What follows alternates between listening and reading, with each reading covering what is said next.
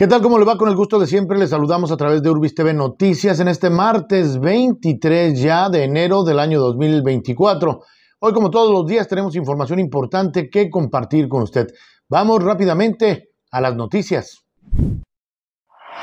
El titular de la Secretaría de Gobierno, Elías Ibarra Torres, informó que se ha reforzado la seguridad en el municipio de Uruapan tras el incendio de tres lotes de autos. En entrevista indicó que la Fiscalía Estatal investiga este suceso ocurrido en días atrás. Vamos a estar presentes por ahí en estos días para recabar nosotros lo que nos toca eh, y reforzar la seguridad. Lo otro de la línea sí no queremos entorpecer a la Fiscalía. Fue el pasado fin de semana cuando se registró la quema de tres lotes de autos, así como balaceras en distintos puntos de Uruapan, hechos que ya son investigados por las autoridades y que obedecen, según las víctimas, a la negativa del pago de cuotas a células criminales, según muestran algunos videos difundidos en redes sociales. En Urbis TV Noticias, Aida Espinosa. La Secretaría de Salud de Michoacán exhortó a padres y madres de familia a llevar a sus hijas e hijos menores de 18 meses a su centro de salud más cercano para aplicarles la vacuna hexavalente, que los protege contra enfermedades como la difteria, tosferina, tétanos, infecciones por Hemophilus influenza tipo B, hepatitis B y poliomielitis. El biológico está marcado en la Cartilla Nacional de Salud y debe aplicarse a los 2, 4 y 6 meses de edad y un refuerzo al año y medio, es decir, cuatro vacunas en total. En el caso de los infantes que no hayan acudido a tiempo a inmunizarse, aún lo pueden solicitar siempre y cuando sean menores de 5 años. Para solicitarla se debe acudir con la cartilla nacional al centro de salud más cercano, clínicas del ISTE o unidades de medicina familiar del Instituto Mexicano del Seguro Social. En Urbis TV Noticias, Rafael Silva.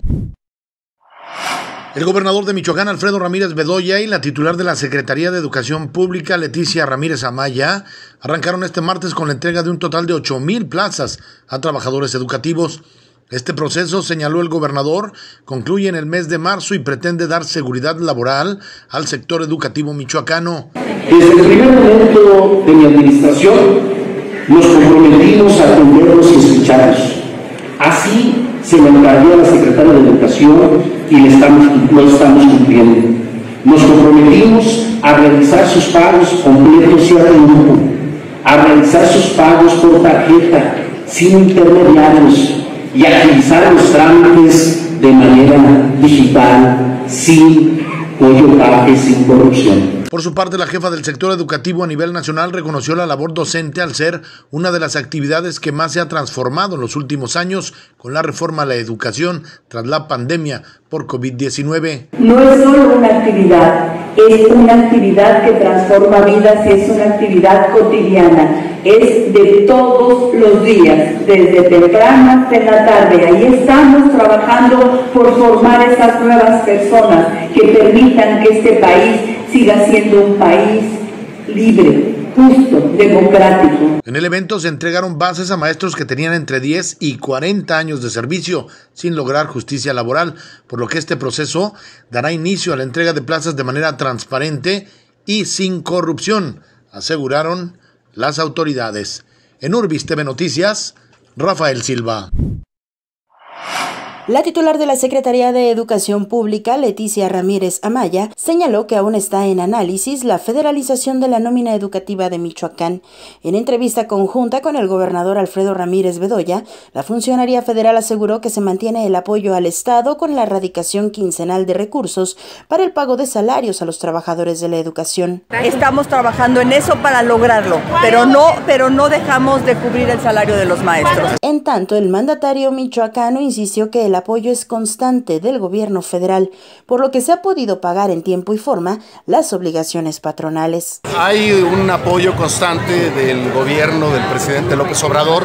Cada quincena nos llega a través del U080 eh, parte de esa federalización. Sin eso no podríamos salir adelante y hemos salido adelante y le hemos cumplido a los maestros. Ahora se les paga a tiempo, se les pagan sus bonos, sus prestaciones eh, en tiempo y forma. En Urbis TV Noticias, Aida Espinosa. La titular de la Secretaría de Educación en el Estado, Gabriela Molina Aguilar, aseguró que con la implementación del gobierno digital y la tarjetización de pagos se ha erradicado la corrupción en la dependencia. En este sentido, refirió que son al menos 50 las denuncias interpuestas por diversos delitos cometidos al interior de la Secretaría, entre los que destacó la venta de plazas, el traslado de docentes sin autorización y el cobro de trámites, entre otros. Sí, hay una serie de denuncias por muchas eh, cuestiones eh, que recibimos y se les da seguimiento. La verdad es que también hay mucha, hay miedo, pero lo más importante es ir hoy que la transparencia y el combate a la corrupción se logra hoy a través de gobierno digital y de una cercanía con el sector educativo. Molina Aguilar indicó que algunas de las denuncias se han resuelto ya en la Fiscalía, sin precisar el número. En Urbis TV Noticias, Aida Espinosa.